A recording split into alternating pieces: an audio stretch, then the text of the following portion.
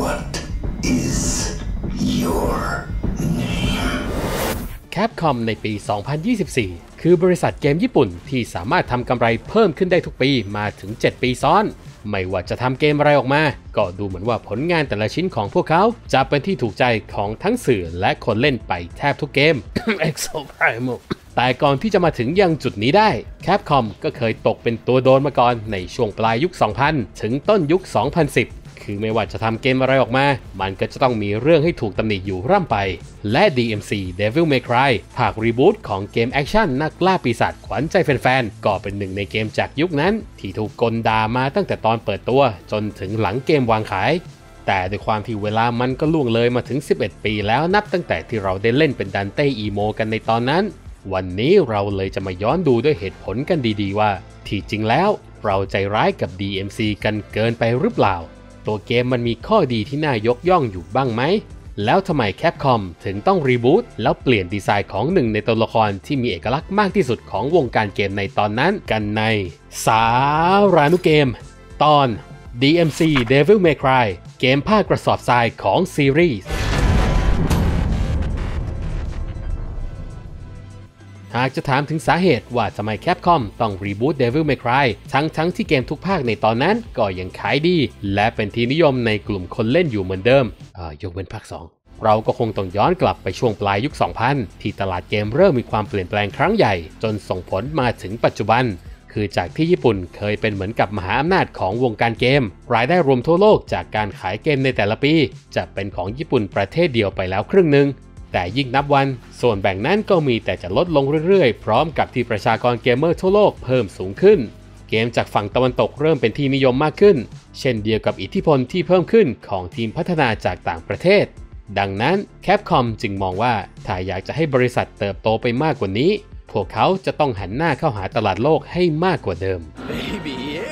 ถึงแม้ว่าเกมภาคประเดิมคอนโซลยุค HD อย่าง Devil May Cry 4 จะทำยอดขายในปีแรกไปได้ถึง 2 ล้าน3แสนชุดเท่ากับภาค 3 แต่ในสายตาของ Capcom แล้ว Devil May Cry 4 กลับเป็นเกมที่ทำยอดขายได้น่าผิดหวังในเวลานั้น เพราะต่างจาก 3 ภาคแรกที่ลงเฉพาะแพลตฟอร์มของ Sony นี่เป็นครั้งแรกที่ Devil May Cry จะไม่ได้ถูกจำกัดว่าต้องลงแค่ PlayStation 3 เท่านั้น แต่มันยังถูกพัฒนาลงทั้ง Xbox 360 และ PC เพื่อวางขายไปพร้อม ๆ กันด้วย ดังนั้นตลาดที่กว้างขึ้นก็ควรจะส่งผลให้อย่างน้อยยอดขายเกมต้องโตขึ้นกว่าเดิมเป็นเท่าตัว ทีนี้พอภาค 4ทำยอดขายไม่ได้ตามเป้า มันก็ยิ่งทำให้แคพอมรู้สึกว่า ถ้าจะทำเกมด้วยความเข้าใจและให้ถูกใจตลาดสากลมากกว่านี้ พวกเขาคงวางใจกับทีมพัฒนาภายในที่เป็นชาวญี่ปุ่นเหมือนเดิมไม่ได้อีกแล้ว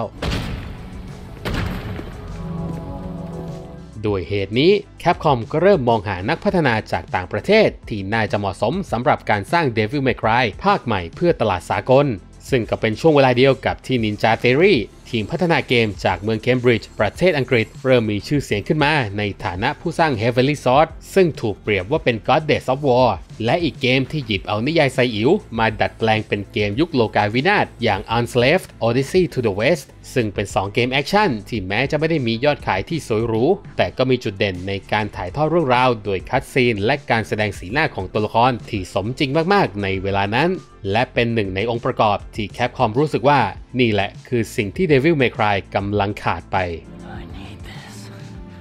เมื่อเลือกทีมพัฒนาได้แล้ว Capcom ก็ตกลงกับ Ninja Theory ว่าเราต้องการให้คุณ reboot Devil May Cry ให้ออกมาเป็นเกมแอคชั่นสำหรับคนหมู่มาก เพราะเกมที่ใช้สูตรเดิมอย่างภาค 4 ได้แสดงให้เห็นแล้วว่า Devil May Cry สไตล์ญี่ปุ่น มันทำเงินสู้เกมในแนวเดียวกันอย่าง God of War ที่สร้างโดยทีมตะวันตกไม่ได้เลย ทั้งทั้งที่มันลงแค่เครื่องเดียว ดังนั้นเราไม่อยากให้ปรับแค่ gameplay แต่คุณต้องยกเครื่องใหม่ตั้งแต่การออกแบบตัวละครกันไปเลย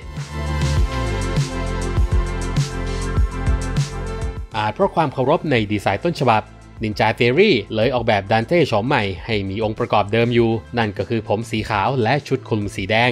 แต่ผู้ที่มีอำนาจในการตัดสินใจของ Capcom ในเวลานั้น อย่างคุณเคจิอินาฟุเนะกลับบอกพวกเขาว่า ไปออกแบบมาใหม่ เอาให้ไม่เหมือนเดิม จากนั้นดีไซน์ของดันเต้สำหรับภาครีบูตก็เริ่มเปลี่ยนไป จนสุดท้ายผลพวงของการตัดสินใจในครั้งนั้น ก็ออกมาเป็นรูปเป็นร่างให้เราได้เห็นในปี 2010 ที่งานโตเกียวเกมโชว์ My name is Dante.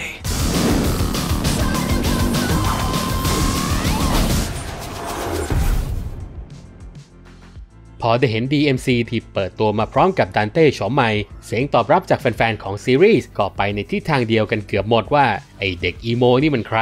ปกติถึงจะมีท่าทียียวนแค่ไหน แต่ดันเต้ก็ไม่เคยสูบบุหรี่นะ นี่มันไม่เหลือเค้าของดันเต้ที่เรารักเลยแม้แต่นิดเดียวหนักข้อถึงขั้นไปขู่เอาชีวิตคุณ Tameem Antoniades director ของเกมภาคนี้จากทีมงาน Ninja Theory โดยที่ไม่รู้เลยว่าต้นตอที่ทำให้ดีไซน์ของดันเต้โฉมใหม่ออกมาเป็นแบบนี้ก็คือ Capcom แต่คุณ Tameem ก็ออกมาให้สัมภาษณ์อยู่บ่อยครั้ง ว่าคำวิจารณ์เหล่านั้นก็แค่ลมปากที่เขาไม่เคยใส่ใจ อะไรเดิมๆที่เคยดูเท่ตอนเกมภาคแรกออกมาเมื่อ 10 กว่าปีก่อน มันอาจเป็นสิ่งที่ดูตลกในปัจจุบันไปแล้วก็ได้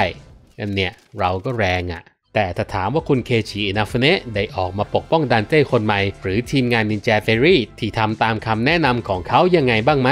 คำตอบก็คือ แล้วหลังจากนั้นไม่นาน เขาก็ออกไประดมทุนเพื่อทำโปรเจกต์ในฝันของแฟนๆ Rockman ที่ขายดีเป็นเททิ้งเทขว้างอย่างไม่ ข้ามชื่อนี้ไปเลยได้ไหม It's chaos everywhere.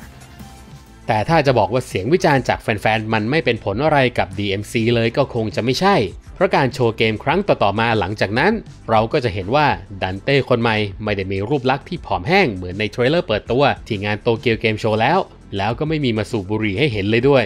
แต่โดยรวมมันก็ยังไม่ใช่ดันเต้คนเก่าที่พวกเราคุ้นเคยกันอยู่ดี อย่างไรก็ตาม พอตัวเกมออกวางจำหน่าย แม้ว่าแฟนๆ ส่วนใหญ่จะยังทำใจยอมรับภาพลักษณ์ของดันเต้คนใหม่ไม่ได้ แต่ในแง่ของเกมเพลย์ หลายคนก็บอกว่ามันสนุกใช้ได้เลย ถึงความลุ่มลึกในการทำคอมโบและความยากจะเทียบเท่ากับภาคดั้งเดิมไม่ได้ แต่การออกแบบฉากที่เหนือจริง ก็ทำให้การเดินทางในเกมนั้นมีความน่าตื่นตามากกว่าที่จะน่าหงุดหงิดเหมือนเมื่อก่อน แต่ที่แย่หน่อยก็คือเกมเวอร์ชันคอนโซลในเวลานั้นรันได้แค่ 30 เฟรมต่อวินาทีเท่านั้น ในขณะที่ภาคเก่ารันได้ถึง 60 เฟรม ความลื่นไหลของภาพเลยดูด้อยลงไปถนัดตา ส่วนในเรื่องแม้การนำเสนอของเกมจะดูมีชั้นเชิงมากกว่าเดิมในแง่ของเทคนิคการถ่ายทอด แต่ก็มาตกม้าตายที่ความธรรมดาของเรื่องราว และบทพูดที่ไม่ค่อยน่าจดจำสักเท่าไหร่ And I got a bigger dick. เมื่อมองในด้านของคุณภาพ DMC อาจเป็นผลงานที่สอบผ่านของ Ninja Theory แต่สำหรับ Capcom แล้ว ตัวเกมก็ยังถือว่าไม่ประสบความสำเร็จอยู่ดี เพราะจากที่เคยประเมินว่าน่าจะได้ส่งออกประมาณ 2 ล้านชุด Capcom กลับทำได้เพียง1ล้าน2แสนชุดเท่านั้น โดยทางบริษัทให้เหตุผลถึงยอดขายที่พลาดเป้าของ DMC และหลาย ๆ เกมในช่วงนั้นว่า เป็นเพราะความล่าช้าในการขยายตลาดคอนเทนต์ดิจิทัลเป็นเพราะทีมการตลาดในญี่ปุ่นไม่สามารถประสานงานกับทีมพัฒนาต่างประเทศได้อย่างมีประสิทธิภาพมากพอ และเป็นเพราะคุณภาพของเกมที่ลดลงเนื่องมาจากพวกเขาส่งออกงานให้นักพัฒนาภายนอกรับผิดชอบมากเกินไป แต่ถึงอย่างนั้น Capcom ก็ถือว่าเป็นค่ายเกมจากประเทศญี่ปุ่น ที่ปรับตัวเข้าหาทิศทางที่เปลี่ยนไปของตลาดเกมได้ดีหลังจากผ่านยุคลุ่มๆดอนๆไปได้ พวกเขากลับมาพิจารณากันยกใหญ่ ว่าที่จริงแล้ว สิ่งที่ทำให้หลายๆแฟรนไชส์ของบริษัทประสบความสำเร็จมันคืออะไรกันแน่ พร้อมกับรับฟังเสียงจากแฟนๆมากขึ้น ตั้งแต่ช่วงกลางยุค 2010 ส่งผลให้เราเห็นว่าเกมใหม่ๆ หลังจากนั้นที่พัฒนาโดยทีมงานภายในสำนักงานใหญ่ของประเทศญี่ปุ่น ล้วนเป็นเกมที่ประสบความสำเร็จทั้งในแง่ของยอดขายและเสียงตอบรับจากตลาดเกม ตั้งแต่ Resident Evil 7 Monster Hunter World และการกลับไปหาดันเต้คนเดิมกับ Devil May Cry 5 Whatever. I don't really care. I'm just gonna sit this one out. และทั้งหมดนี้ก็คือสารานุเกมของเราในวันนี้ ถ้าชอบก็กดไลค์กันคนละที หรือกด subscribe กันไว้ก็ได้สำหรับใครที่เพิ่งคลิกเข้ามา พวกเราคือ Online Station สถานีปลายทางสำหรับทุกคนที่ชอบเกมการ์ตูน และของเล่นทุกรูปแบบ แล้วพบกันใหม่ในคลิปหน้า หวังว่าจะได้เจอกันอีก สวัสดีครับ